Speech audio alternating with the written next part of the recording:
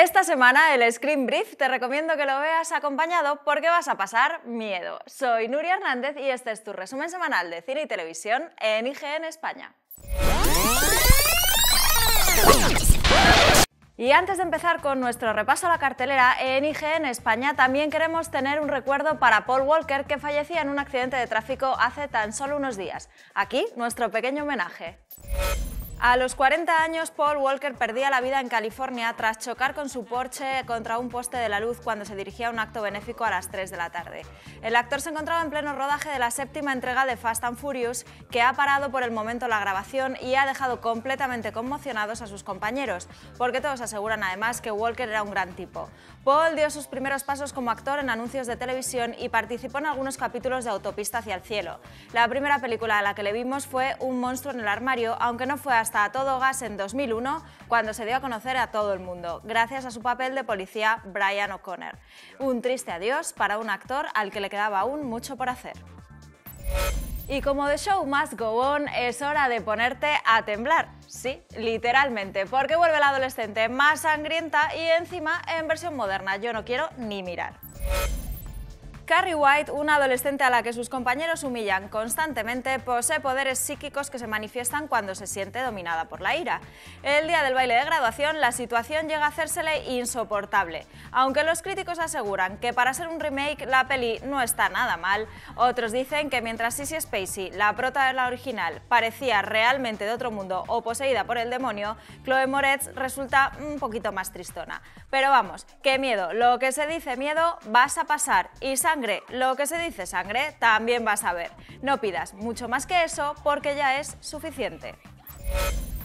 Y para que ya no podamos dormir el resto del fin de semana, mis compañeros, que como ya te he dicho en algunas ocasiones son adorables, han preparado un report de esos para esconderte debajo de la cama. Vamos, al menos yo lo haría. Stephen King es el maestro del terror y por eso en IGN España hemos querido hacer un buen repaso a todas las obras del escritor que han sido llevadas a la gran pantalla o que se han convertido en serie. Si no has visto El Resplandor es que no eres nadie, has estado metido en una caverna los últimos 30 años o verdaderamente eres más médica que yo. Además de esta obra cumbre del terror, también repasamos las obras del Rey del Miedo como La Cúpula, que hemos visto hace nada en forma de serie y que nos ha dejado ojipláticos. Vamos, libros de esos que es mejor que leas con alguien al lado para poder agarrarle de la mano por la noche. Estamos que lo tiramos. Tenemos el teaser, la nueva sinopsis y hasta el tráiler de The Amazing Spider-Man El poder de Electro. Vamos, vamos, que me los quitan de las manos. La nueva del Hombre Araña se estrenará el 16 de abril de 2014, pero ya sabemos algo más. Ser Spider-Man tiene un precio. Solo él puede proteger a sus vecinos neoyorquinos de los formidables villanos que amenazan la ciudad.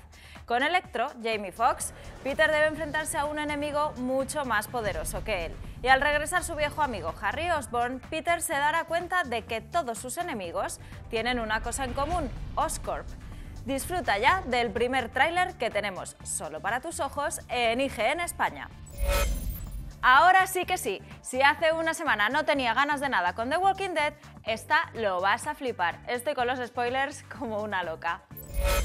El mid-season final de esta temporada no solo pone el listón insuperable de cara a la segunda mitad de la próxima, sino que muy posiblemente no seremos capaces de volver a ver 40 minutos, o bueno, más bien 30, a la altura de lo que nos ha ofrecido el capítulo 8 de esta cuarta temporada. David Morrissey, el gobernador, echa el resto y nos ofrece una última interpretación memorable por dos motivos, haciendo alarde de su enorme carisma y capacidad para convencer a las multitudes y mostrando toda su crueldad y sadismo en dos de los momentos más impactantes de la serie, la decapitación de Herschel y la ejecución de Megan. Los nuevos Capis volverán el 9 de febrero, pero mientras tanto repasa todas las reviews de estos 8 que ya han hecho historia. Hoy quiero confesar, acabo de enterarme de lo que es una serie geek, pero vamos, con este top 10 va a quedarte muchísimo más claro.